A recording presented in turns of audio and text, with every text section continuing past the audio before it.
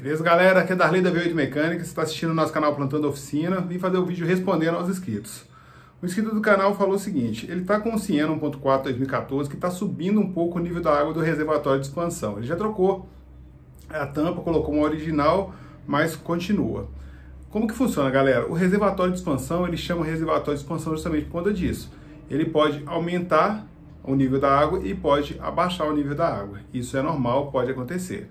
Agora, se ele estiver subindo, quando o carro ligado, ele está subindo o nível da água e não para de subir mais, vai subindo, subindo, subindo, chega até transbordar, quase sempre esse carro está com problema de junta de cabeçote. Bacana? Eu já fiz alguns testes, fiz alguns vídeos, coloquei no YouTube, está tá muito fácil de identificar. Coloca aí como retífica de motores, tem um punhado de carro que já fiz teste, um teste de vazão de cilindro que mostra muito bem o que está acontecendo. O carro está passando com pressão do cilindro para o sistema de arrefecimento e aí com isso ele faz passar ar para dentro do sistema e a água vai, vem a transbordar. É um defeito crítico, é o sistema de arrefecimento que leva muito carro para a oficina, o pessoal até hoje ainda costuma não tendo tanta atenção com ele e que deveria ter mais atenção. Não quer dizer, galera, que se você está tratando seu carro, está tudo correto, ele não vai dar defeito nunca. Um dia pode dar defeito, mas vai dar com menos incidência se você estiver tratando bem do sistema de arrefecimento aí. Bacana? Fica essa dica, hein?